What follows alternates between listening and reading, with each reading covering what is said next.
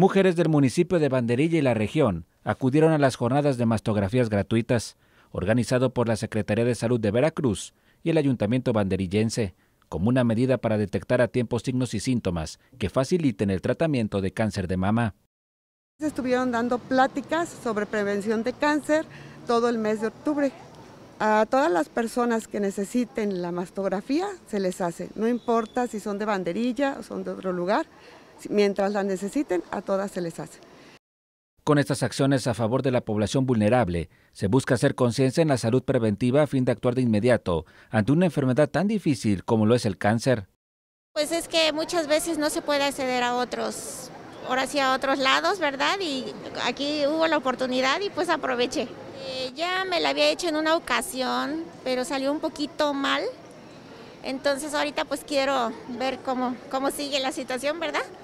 Por prevenir antes que pase otra cosa peor. Como parte de la promoción de la salud de la mujer en dos días en Banderilla, se atendieron alrededor de 80 mujeres de 40 años en adelante. Hugo Garizurieta, RTV, más noticias.